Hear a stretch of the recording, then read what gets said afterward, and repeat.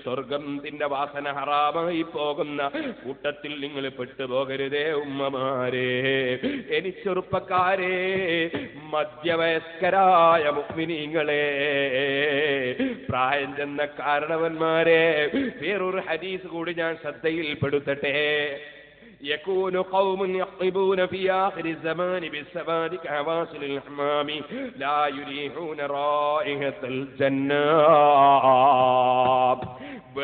രോമത്തിന് കറുത്ത ചായം കൊടുക്കുന്ന ഒരു കൂട്ടരില്ലേ? നബി സല്ലല്ലാഹു അലൈഹി വസല്ലമ തങ്ങൾ പറയുന്നു ഖിയാമത്ത് നാളാകുന്ന സമയത്ത് കറുപ്പ് കൊണ്ട് അതാ ചായം കൊടുക്കുന്ന ഒരു കൂട്ടര് ആ കൂട്ടരുണ്ടല്ലോ അവർ സ്വർഗത്തിന്റെ വാസന എത്തിക്കൂല. ഹദീസിന്റെ റിപ്പോർട്ടാണ്.